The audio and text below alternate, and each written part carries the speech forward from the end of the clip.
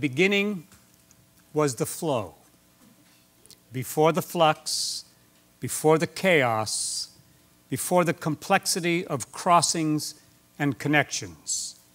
Then a particle sense. Then the ascendance of the singular. Now we seek a release from the egoic singular to the relational sensibility within the flow. In the dark, in the silence, in the cessation of external sensation, it appears. What is it that appears? The human spirit. Spirit as an aspect of self. I begin by describing the triple helix model. Based on the triple helix of the collagen molecule, a structure which provides great strength and plasticity and also acts as a conduit for flow and information in the human body. We take the overused conceptual model of body, mind, spirit and recreate it as a functional model body, mind, spirit. The three strands of the self, interwoven firmly yet flexibly. Either strand aberrated, you have an aberrated self. We most understand this related to body in medical, clinical, health, and wellness. In mind, despite our inability to pin down or define consciousness in neurology and cognitive science, which are both greatly enhanced by dialogue with meditators, most notably the Dalai Lama in the Mind Life Institute. Our least defined and articulated strand is spirit as aspect of self. We mostly know spirit through religion and other faith and belief systems, which may have produced wonder, profundity, and good, but also conflict and confusion. We three, Anthony, Bryant, and myself, represent this triple helix. Anthony, a true thetanaut, pushing the boundaries of consciousness in an often radical direction. Bryant, whom you just heard insightfully showing us the energetic subtext of mind, brain waves, and especially the theta wave, with its clinical, therapeutic, mystical, and magical possibilities. The three of us, hopefully, going beyond relaxation, inspiration, insight to hope. The spirit strand is the binding strand. It is about connectedness, resonance, buoyancy, and becoming. We live in a world of becoming, which is open and in which cracks and fissures run through every meta narrative, dogmatic structure, or final perspective. It is within these cracks in the interstitium that one enters in the float tank.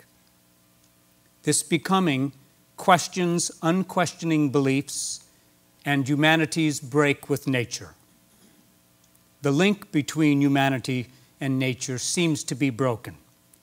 This link, which we intuit in the float tank, must become an object of belief.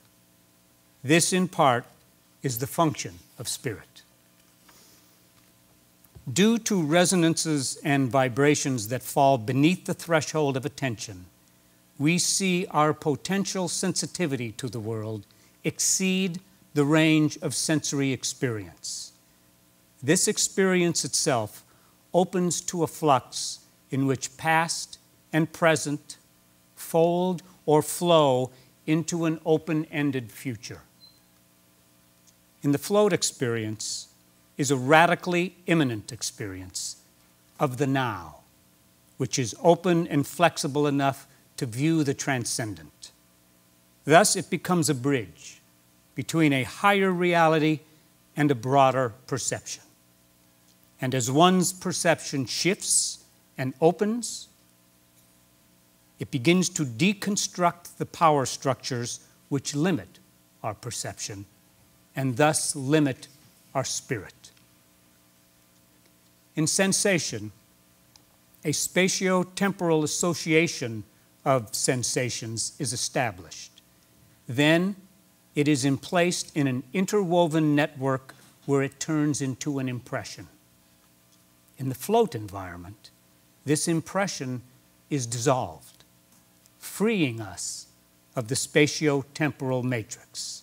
We are out of time, out of space, right hemisphere dominant, and set on a theta wave fueled exploration of the transpersonal.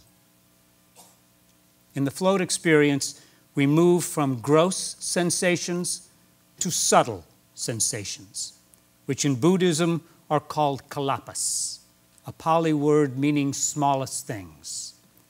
They are not units of matter, but units of experience. When kalapas appear, the body perceived in gross sensations disappears, and you enter bhanga, a state of detachment. You transcend body, objective world, space, and self. You are in the interstitial, the in between. You have entered an undefined experiential state in Zen, the plenum void in which all is potential. I would like to introduce you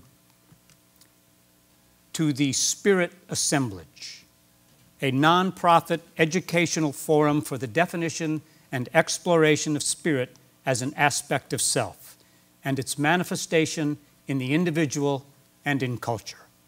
There are three planes of inquiry that we explore the science spirit interface, eco spirituality, and somato spiritual practices. The question of our time may no longer be how to take things apart, but how to res- work responsibly in reassembling them. The first of these, which I will briefly go over, is the living matrix, most articulated by Dr. James Oschman.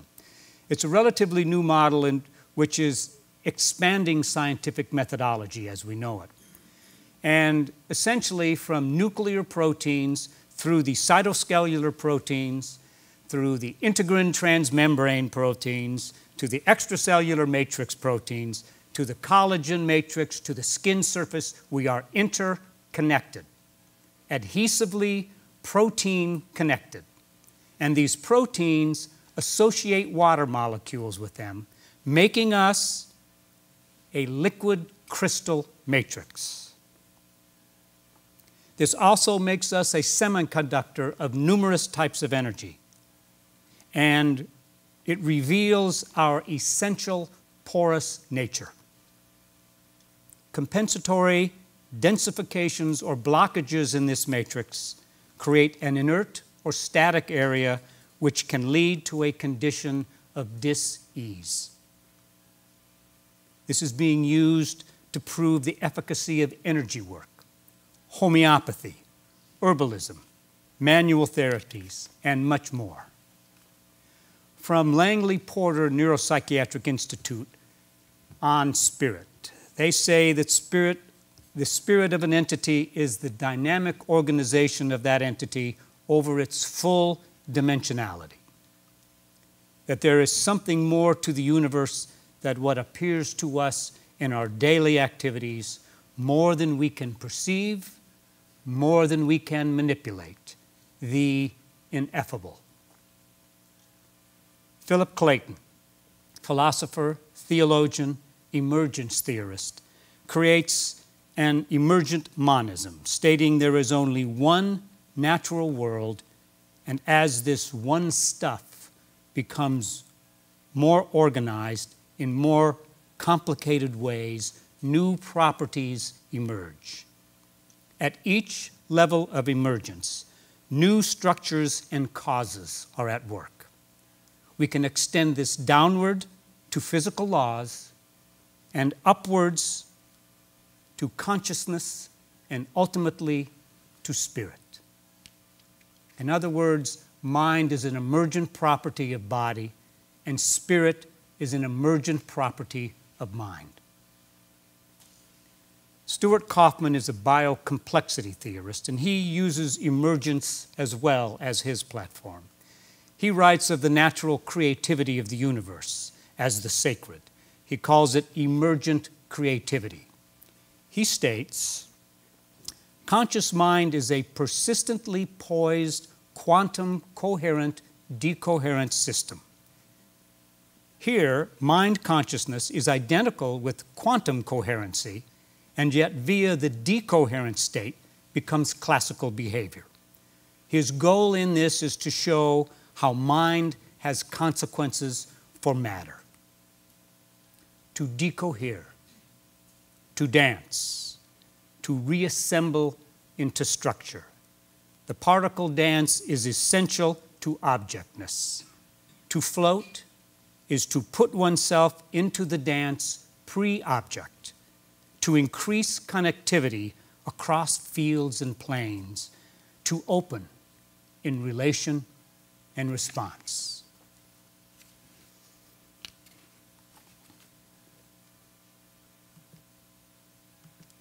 Eco spirituality. We have the ability to think outside of nature, but I think it is nature doing the thinking. We are beings with the capacity to feel comprehensive compassion. This is in part a function of the Spirit, as is the refinement of ethics as ethos, to be in as to dwell. In the float tank, we experience a fluidity of boundaries and edges. We feel the breakdown between inner and outer, self and other. We learn to dwell in more ease. We are embedded in the world. Merleau-Ponty states we are the flesh of the world.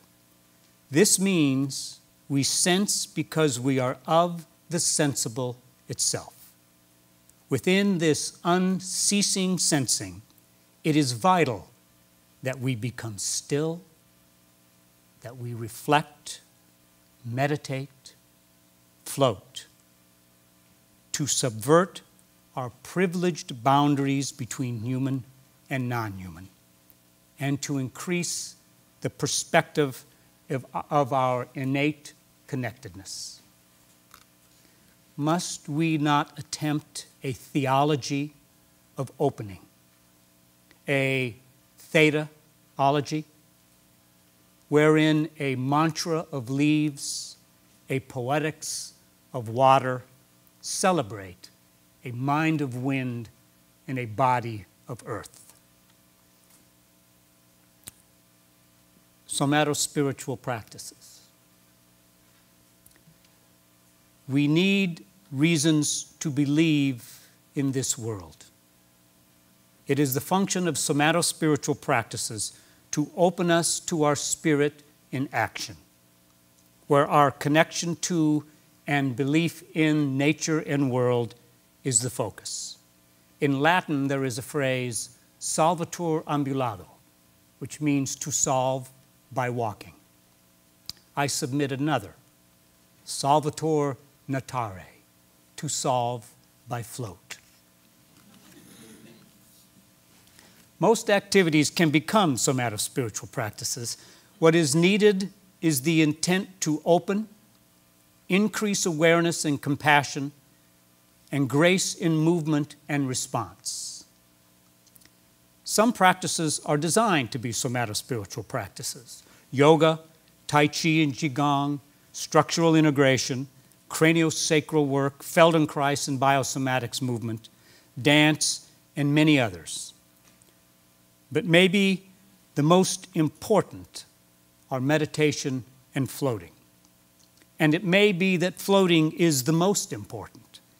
Due to its initial ease, it becomes more pointed as a practice. But the ease of flow into alpha and into theta, and thus into spirit, is less effortful and more efficient. What may be most important about somatospiritual practices is their crossover to other activities, with the possibly naive hope that business, finance, political, religious, and other primary activities of culture will be affected. May we all float, and in the water ease of cellular reflection, thought becomes image, becomes awareness, becomes abstraction, becomes wave, becomes spirit, which may change us.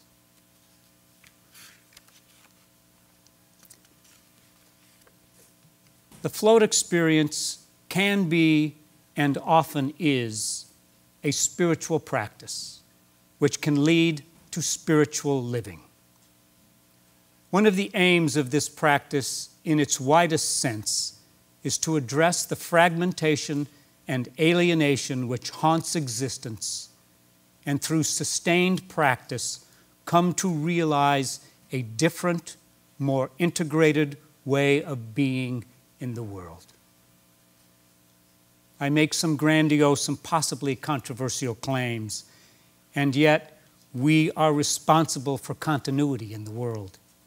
And we need to become a life enhancing species not a life destroying one. And the float experience, as simple and as profound as it is, allows us to experience that continuity, that connectedness. In the words of the essential and insightful folk at Float On, enter the nothing. But of course, within the nothing is everything. Thank you.